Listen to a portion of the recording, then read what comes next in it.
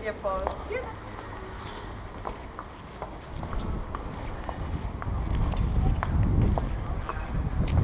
E,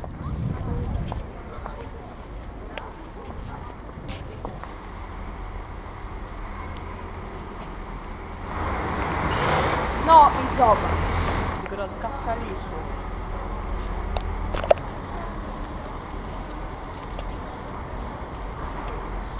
ty.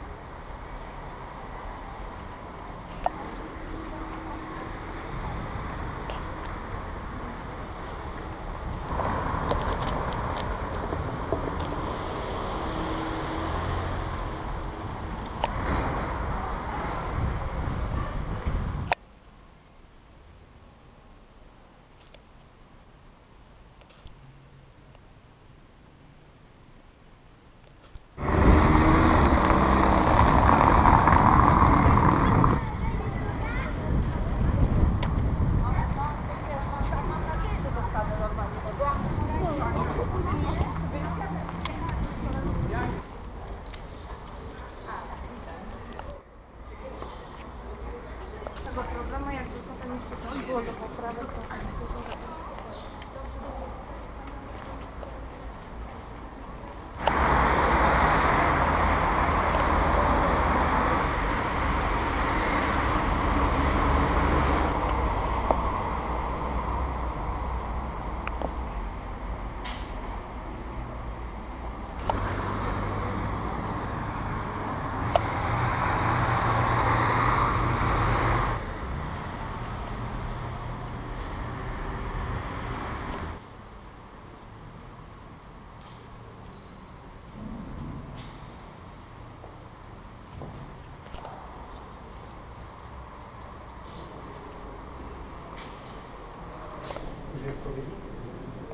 Voilà.